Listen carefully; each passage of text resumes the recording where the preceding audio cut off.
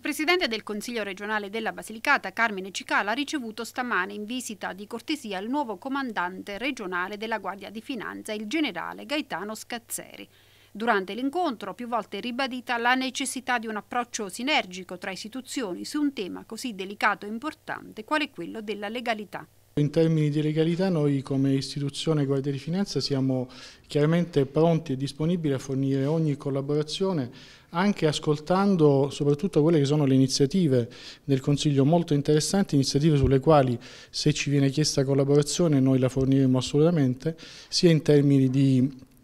eh, legalità, appunto come diceva lei, sia in termini di attuazione delle disposizioni regionali o in termini di nuove idee, nuove proposte che possono originare da parte anche degli operatori di polizia che hanno una visione diversa e autonoma di quelle che sono le realtà regionali e nazionali in generale. Nel dare il benvenuto a nome di tutto il Consiglio regionale al generale, il Presidente Cicala ha sottolineato quanto sia importante un percorso comune che veda lavorare insieme le istituzioni con il prezioso coinvolgimento dei giovani lucani che devono essere, insieme agli enti preposti, i principali messaggeri dei temi della legalità. Abbiamo discusso proprio di questi temi, un focus eh, particolare, specifico sui giovani, sul nostro ruolo, su quello che anche loro devono in che modo affrontare questo, questo momento storico difficile per tutti quanti, quindi un eh, focus sulla legalità non poteva mancare, su quello che le, eh, quella che è l'emergenza sanitaria del momento storico e quindi